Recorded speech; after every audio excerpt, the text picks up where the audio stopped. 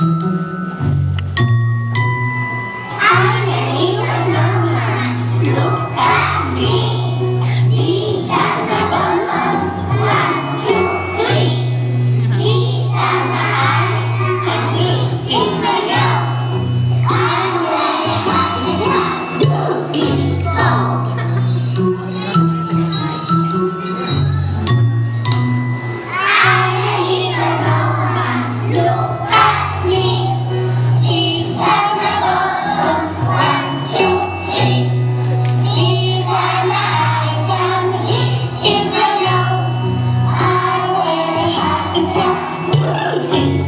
loud.